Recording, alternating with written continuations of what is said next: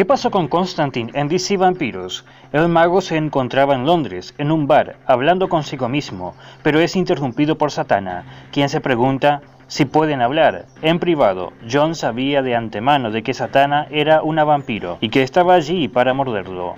Así que cuando ella se prepara para atacarlo, Constantine utiliza un hechizo para detenerla. Satana, totalmente enojada, hace su mejor esfuerzo, pero es inútil liberarse del hechizo de John. Pero este último le asegura que no planea asesinarla. Pero en medio de su conversación aparece el Dr. Fate para buscar ayuda de Constantine. Satana inmediatamente se libera lanzándose sobre Dr. Fate, aunque John la vuelve a congelar con un hechizo. Fate lamentablemente usa sus poderes y destruye a Satana.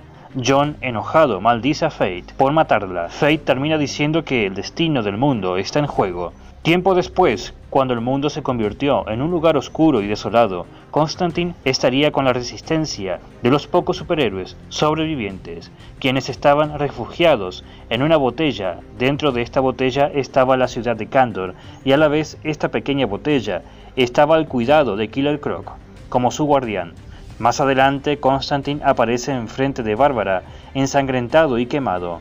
Este explica que fue a un lugar donde hubo un incendio y no podía recordar exactamente lo que pasó. Finalmente, antes de sucumbir por sus heridas, Constantine le dice a Bárbara que vaya a Gótica y acabe con esos malditos chupasangres y salven al mundo.